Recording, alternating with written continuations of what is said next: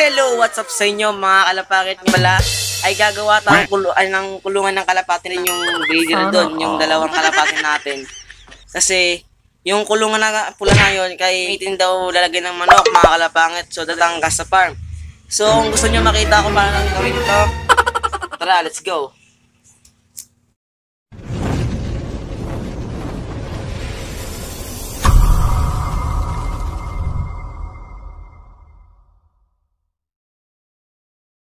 So, ito mga kalapangit yung nalaging ano, sa gagawin nating kulungan ng ibabaw na. So, ito, dito natanggalin to.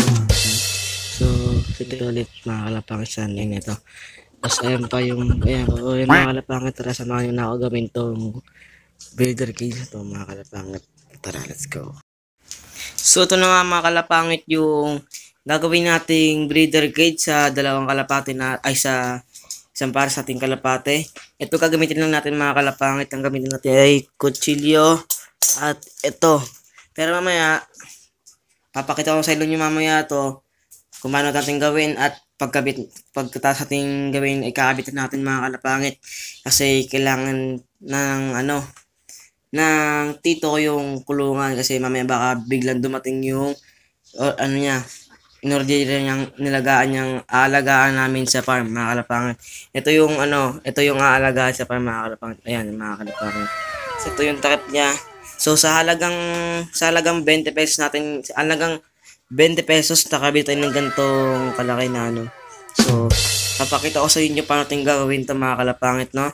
So, yung gagawin lang natin ay gaganto lang natin. Na ganyan lang mga kalapangit. Ayusin natin ito, ah. Ah, ganyan lang. Ayan, o. Mga kalapangit. Tapos, gagawin natin ay dito yung pintuan, no? Dito yung pintuan. Kakat natin yan dyan. Tapos, gagawin natin ng paraan dito kung paano natin nilagyan ng lock, mga kalapangit. So, dito naman, pwede naman natin lagyan ng lock. Kaya, dito natin gawin pintuan, mga kalapangit. No? Tapos, yun nga. Gagawin natin ng lang pintuan to mamaya. Ang gagawin natin pintuan lang naman natin gagawin eh. Pero papakita ko sa inyo yung gag- gagawin ano natin, yung breeder cage natin mga kalapangit no. Sa halagang 20 pesos lang, nakabili tayo, makagawa pa tayo ng kulungan. So kaya kasi naghahanap ako ng tawag dito ng kahon ng kamatis mga kalapangit. So wala akong mahanap kaya na lang nabili ko. So makakabili kayo sa prutasan kaya sa mga gulayan mga kalapangit. So marami yan mga, mga kalapangit no. So tara samahan nyo ako gumawa ng kulungan na, na to. Tara let's go.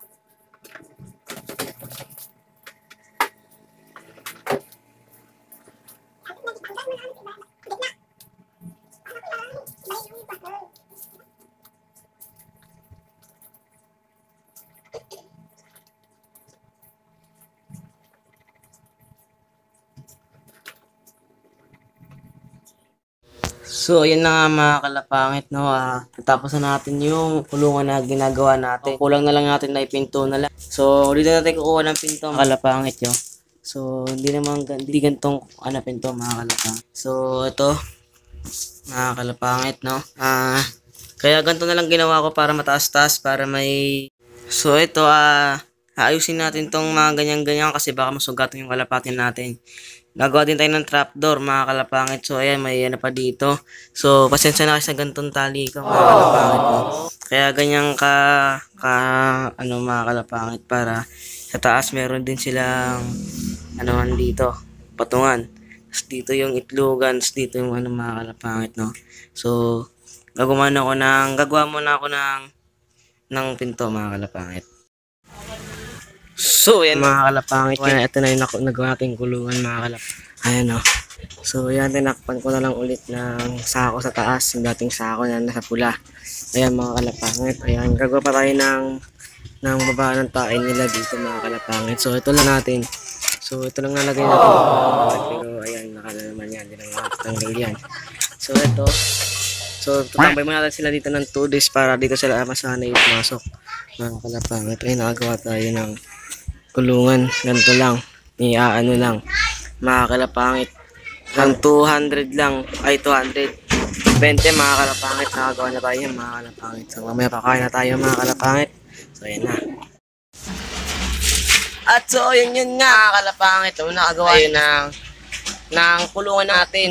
So, kulay puti yun nga naman. Ayun, nakakalapangit yung ginawa natin kulungan. Ayan, against sa light lang. So, sa halagang 20 pesos, nakagawa tayo ng ganong kalapluan ng kalapate. Na binuktong lang natin yun, inayos lang natin mga kalapate, niwag ng pinto.